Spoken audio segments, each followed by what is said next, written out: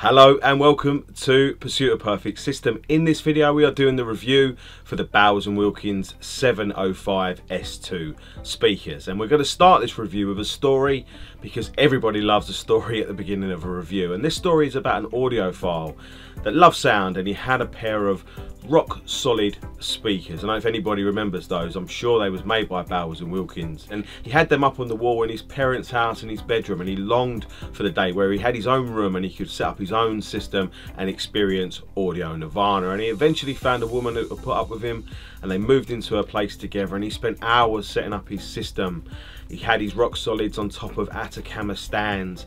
And just as he was about to fire that system up for the first time and experience audio bliss, he knocked one of the speakers onto the floor and broke it. And he never got a chance to listen to that system properly. And he cried and he cried and he cried for days. And when he eventually sort of got over his mourning he decided that's it. I'm going to buy myself some proper speakers. And he bought himself a pair of used Bowers & Wilkins Nautilus 805s, the N805s. However, his lack of experience, lack of skill, lack of system quality meant he never ever got to hear the best of those speakers. And foolishly, he sold them on and bought a different pair of speakers and a different pair of speakers after that. And the moral of the story, well, I don't know if it's necessarily a moral, but had he had sound quality that's been as good as what we've been getting with the 705S2 speakers, I think he would have kept those N805s for much longer. So, story out of the way, let's get stuck into the review.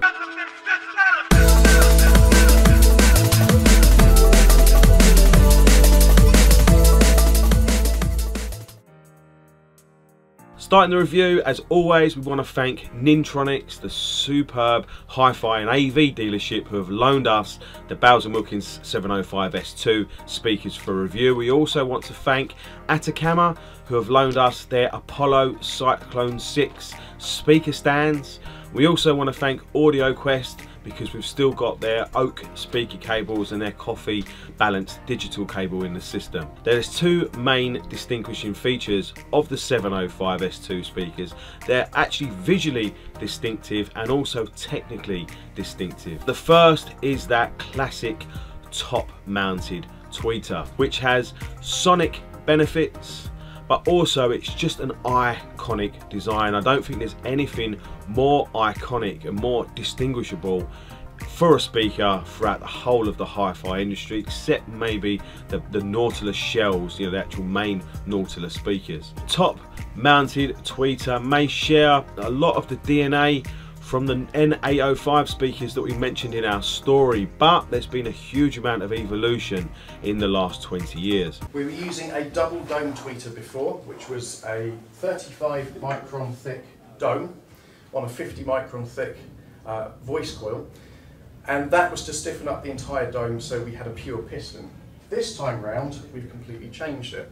We're using a 30 micron thick dome and we've actually given it a dusting of carbon over the top.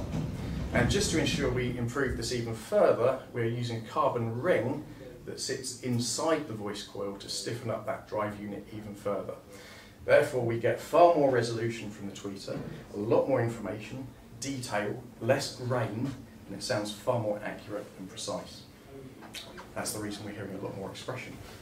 Together with that, we have a new heat sink that sits behind the tweeter on the CM series we were using the tapered tube filled with a, an absorbent material. This was the original tapered tube. This time round we've actually got a heat sink and this removes the heat from the drive unit ensuring we lower the compression. Therefore we can play at higher volumes for longer periods of time and there's less of the drone, uh, sort of dipping of the output because of compression from heat. So this makes a large difference to the performance in high frequency. That's exactly what we've done here by removing the tweeter and placing it into a solid billet, this is machine from a solid billet of aluminium. That's the original aluminium. I'll get to pass that around. There you go.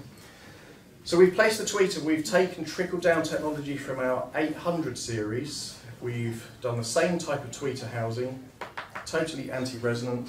There you go. The whole purpose is that we want a foundation for the tweeter to perform, but we don't want it to add to or take away from the performance. So that's all well and good, but what are the benefits of actually having the tweeter mounted outside the cabinet? This time we've removed the tweeter from the cabinet, we've put it on top. For those of you that were here last year, you may recall that we did this quick demonstration to show you what tweeter on top does. This is a tweeter in a baffle. You can hear that my voice has a kind of a hash to it. If we remove the baffle from around the tweeter, you'll notice the sound becomes much clearer and much cleaner. The other main visual and technical design feature of the 705S2 is the continuum material used in the driver. Now this is trickled down driver technology from the flagship 800 series. On the bass mid unit, you'll notice we've changed over from Kevlar to this, the new continuum material. So who was here last year? Who joined us for 800 series? You may recall last year we were showing the continuum, it's a lot more compliant, it's more of an open weave from Kevlar, and it's actually in all these attributes that this allows a drive unit to work far superior. It dies down all of the uh, extra resonances that we don't want in the drive unit. It's self-damping. Works so much clearer and cleaner. Continuum sounds like something from outer space, doesn't it? And the actual driver itself looks like it could have come off a, a NASA spaceship. Looking at the 705 S2, we have a lot of trickle down technology from the 800 series. So getting that type of technology at this price point is really interesting. The rest of the design of the speaker, there's not really too much to talk about. The actual box is not overly big or overly small, it's not overly heavy or oddly shaped. Speakers are rear ported and have a dimple type design which is pretty standard nowadays. But there is something I personally found quite exciting and interesting about the design and that's actually the speaker binding post. Now they themselves are not really anything special, they're pretty standard, but they do have a really interesting spade clamping mechanism, which was actually new to me, I've not seen it before, but it's a really simple but effective idea and way of clamping down much tighter and much cleaner a spade connector or obviously your links between your high frequency low frequency terminals so kudos to Bowers and Wilkins that's a really good design before we go into the sound part of the review, I want to just talk about how we set the speakers up and actually the measurements we took for Dirac Live. We're using Atacama Apollo Cyclone 6 speaker stands which are filled up with Atacama Atabites. If you go and watch this video linked here, you will see how we did that and why we did that and just how much we filled up the stand. Now the 705 S2 do have bolts on the bottom of them so you can actually bolt them to some Bowers and Wilkins dedicated stands. Now there are obvious benefits for bolting a speaker to a stand. However, personally speaking from experience, when you bolt a speaker to a very heavy stand, it's actually extremely difficult to make fine adjustments when you're moving them forward and back, side to side, or working on toeing. Now, by contrast, sitting the speakers on top of a set of stands allows much finer adjustments, especially for toeing. And there's actual real benefits for that. And it actually makes the whole process of getting a toe toeing and getting things set up much easier. So yeah while it might make sense it might be you think it's the obvious choice to go and buy the dedicated stands for these speakers which are always nice but always expensive Sometimes it actually makes more sense to look to a, a very high quality third party such as Atacama because you have got much easier fine tuning adjustment with that type of speaker stand. Now moving on to measuring the speakers within our room and if you follow the channel you know how we feel about Dirac Live and the actual implementation of Dirac Live for these speakers proved it to us again that it's a really useful tool and actually an essential tool even in a very you know good acoustically treated room. So we started our setup procedure as you always would. We did some initial listening, we measured the speaker distances from the side walls and from the rear walls, and then we used just general listening to get our speakers toed into a position that we thought was giving us a solid center image, but also allowing the speakers to image evenly to the left and to the right. Now, interestingly, when it came to measure the speakers, when we looked at our graphs in Dirac Live, the left and right speakers were tracking each other nearly identically. Now that's two important things to point out there. One is that obviously our ears are still working really well, proud of that. But two, and more importantly, that the speakers, the 705S2, must be distributing their sound very evenly for us to be able to get that an accurate setup just by ear. If you look at the Dirac measurement graphs, bear in mind this is an average taken across about nine measurement positions around the listening position. Now we have our typical bass problems which we'll get regardless of the speaker but we're not really interested in that we're interested in the mid-range up into the treble. Now interestingly as you can see the mid-range leading up to about 10 kilohertz in the treble is actually very even and they're distributing themselves really nice and evenly and pretty smooth. However as you can see we have one very obvious anomaly now, when we measure our KEF reference speakers in this room, we don't have that anomaly. So it could be a thing with the speakers. It's probably more likely that the speakers are just reflecting off of something in this room. They could actually be reflecting off the, the reference free speakers, which are obviously just sat to the side. It's the only place we have to put them. Now, at first, I wasn't actually sure whether that anomaly, that little kind of kick in the high frequencies is actually put in there by design. Was it there as a sweetener? Was it there as like a little spice kicker to try and kind of emphasize certain frequencies? So when I set the Dirac Live target curve, I initially left that little kick in there and it took me about two minutes to realize that that wasn't an intended design feature because that absolutely killed the sound quality. It murdered the resolution, it killed the imaging and it just made the whole system and speakers just sound really metallic and nasty.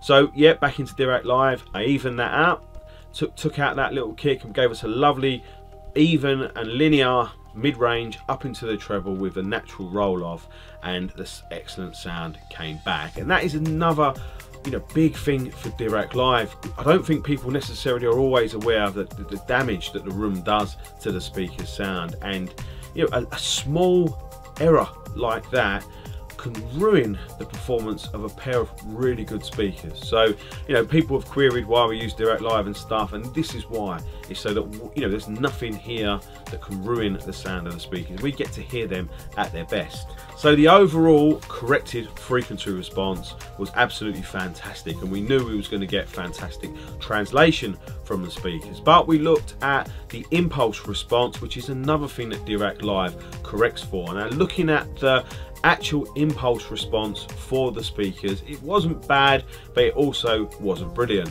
After Dirac Live has done its correction, you can clearly see that the impulse response is now fantastic. So after all that work, after all that attention to detail, after Dirac Live has done its magic and done its thing, we was left with very, very impressive sound. So talking about sound quality, the first thing you notice with the 705S2 speakers is that transparency.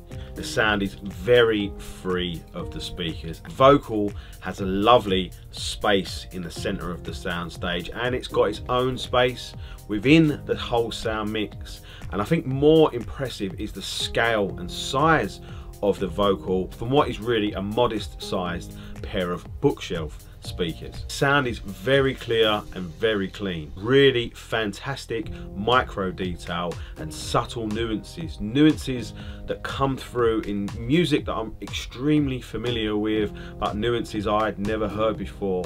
That was really impressive. The sound is very focused and very tight. And that is from the very highest treble right down into the bass. The speakers have very impressive translation that we previously mentioned. Sound is very fast and very precise. And actually in a way reminds me of a of cinema type speakers that are designed to be you know really fast and precise and agile. And that's a trait not often associated with hi-fi type speakers. It also makes me think these would be really good speakers to use in a home cinema multi-channel type environment. The soundstage is a little narrower than I am used to. However it is extremely focused. You still have elements that are nicely outside the speakers, central between the speakers and pretty much everywhere in between. And the focus and the kind of narrow soundstage reminds me more of studio monitor type style speakers.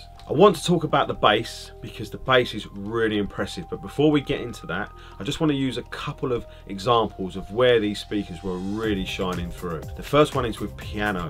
Piano notes, piano keys, piano strikes in lots of different music was really impressive. And it was with drums that I was really impressed. It was the clarity and the space between each drum strike. And I don't mean drum strikes on the same drum, I mean strikes between each drum around a kit, which often is an arc in the, in the sound stage. And the, the, the defined detail and the defined separation between those drum strikes was really impressive. And especially when there's interplay with a cymbal mixed in it is very realistic and it is very enjoyable to listen to. Very impressive very detailed and yeah just generally very very good. And that moves us on I think nicely to the bass from these speakers. And that's one of the most impressive areas of their performance and that's not something you say about bookshelf speakers very often. Bowers and Wilkins design team have been really clever here because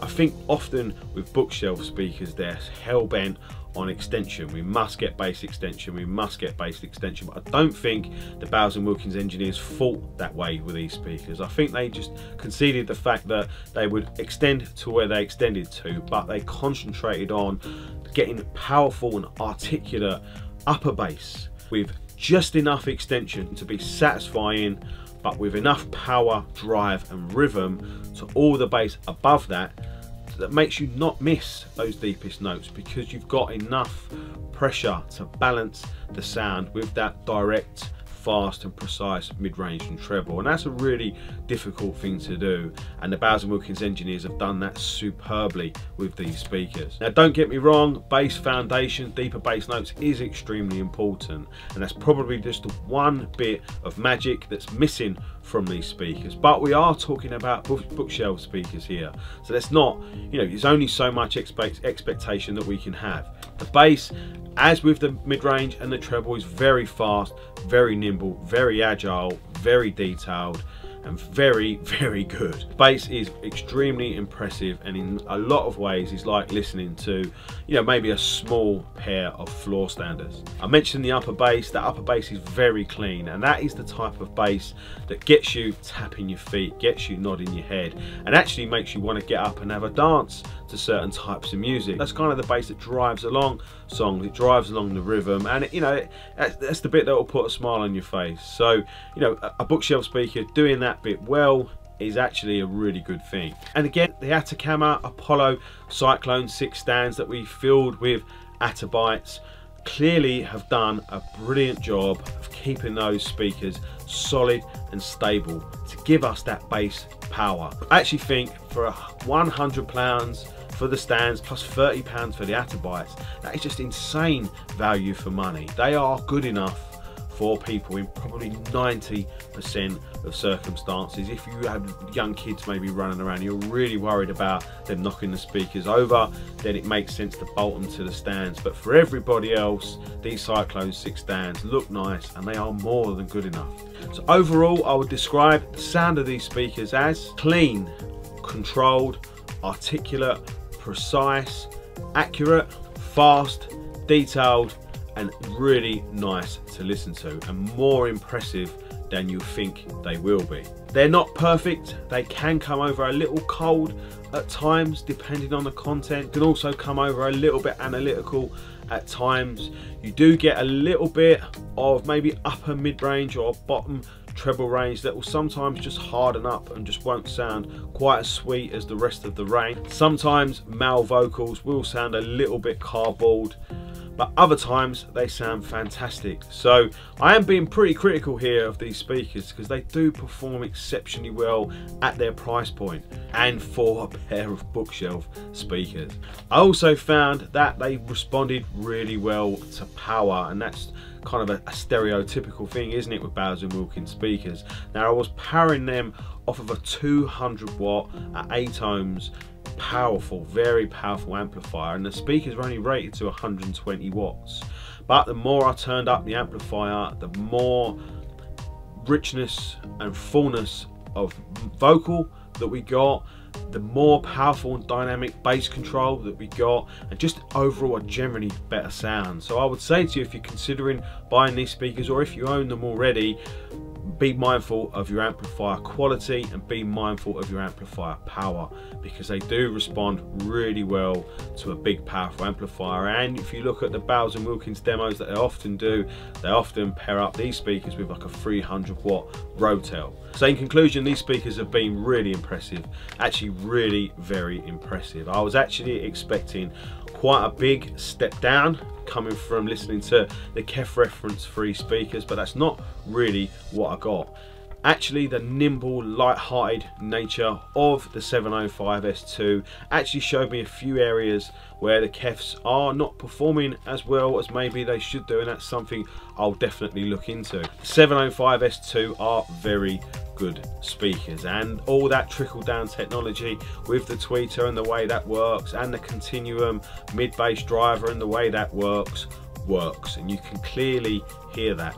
And having all those technologies and features and designs in a speaker at this price point with modern sort of classic looks I can see being really appealing. Now I don't think the sound of these speakers is going to be for everybody um, and I think that might depend on quite a few factors really and they're factors that we do have control over. You know maybe how lively our room is maybe the quality of our equipment and definitely the power of our amplifier. However if you pay attention to details these speakers will definitely reward you with a clean fast accurate monitor type sound that's kind of like cinema type speakers in their precision and speed and accuracy but still musical and still you know enjoyable to listen to and very impressive in a lot of areas particularly in the bass control and general scale sound from bookshelf speakers especially the scale sound from the mid-range. Uh, people will obviously use these 705 S2s with subwoofers, that's an obvious choice. But all I'll say is the bass from these speakers is very fast. So if you're going to use subwoofers with these speakers, you need to make sure they're also very fast. So because these speakers have impressed us so much in certain areas, they've actually been probably the most full range bookshelf speakers I think I've heard that are this size